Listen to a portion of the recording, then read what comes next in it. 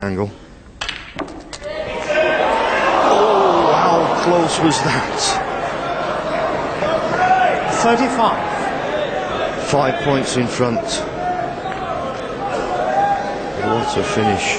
Thank what you. a great match. Ronnie wiping his hands. He knows he'll be coming to the table. Next shot.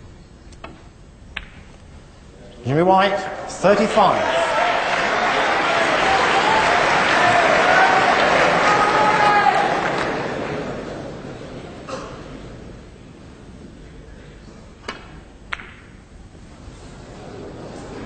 Check side, but I don't think enough. I think you can see this red, and I think it's possible. If this goes in, you would expect Jimmy to possibly clinch frame and match.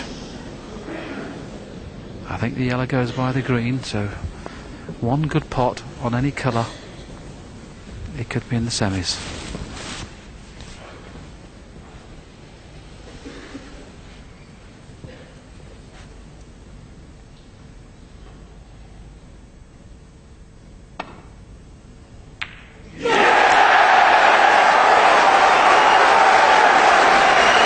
Good pot. One. He's not bad on the pink. He's just got to hold himself together now. He's looking at the blue, but the pink's the ball. Stunning off the left hand side of the table, down for the yellow. If he pots the pink, gets on the yellow, I think he'll do it.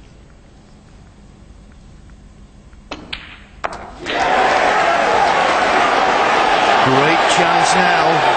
Don't want to be too straight on this yellow. Seven.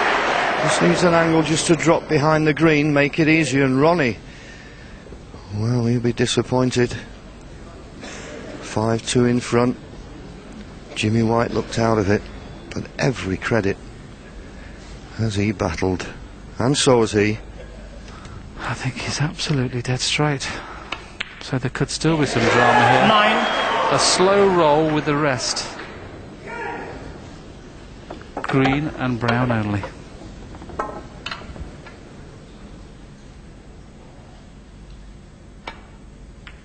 He's done it. I'm sure he's done it now.